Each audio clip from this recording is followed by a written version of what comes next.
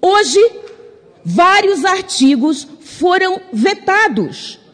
Dentre desses artigos, impede a fiscalização da polícia em terras indígenas, instalação de postos, estradas, escolas e saúde, principalmente a atuação das Forças Armadas em terras indígenas.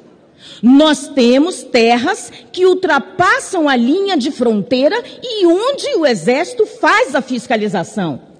Proibir o Exército de fiscalizar essas áreas em áreas de fronteira significa condenar o Brasil ao narcotráfico.